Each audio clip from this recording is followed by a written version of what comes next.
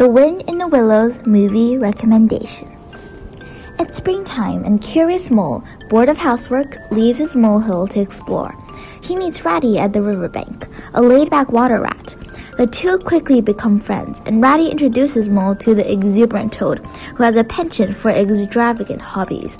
And one anonymous day, Toad gets obsessed with motor cars. He drives them into public places, into monuments, and many other places.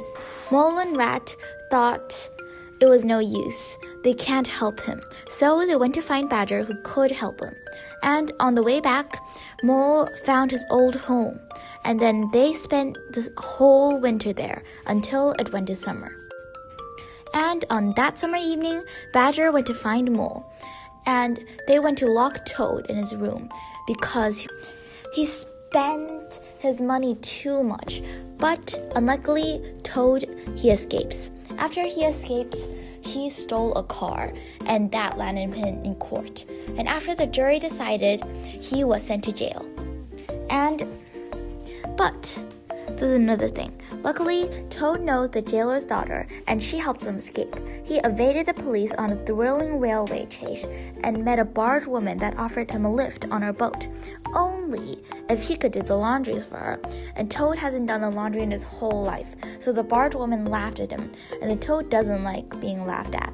So he rode the barge woman's horse until he saw a motorcycle. And his obsession grew and grew, and then that's weird. He crashed the motorcycle and flew into riverbank. And lastly, when he flew into riverbank, he swam ashore and saw Mole and Rat fishing. And Mole and Rat told him that his house has been taken by weasels and he wanted to defend it. So Badger reunites with them and regains control of the hole after a big battle. I really love this movie because it is like very old, like made in the 90s. I strongly persuade that adults watch this. Like many adults would really love watching this 90s movie. Bye bye and Merry Christmas!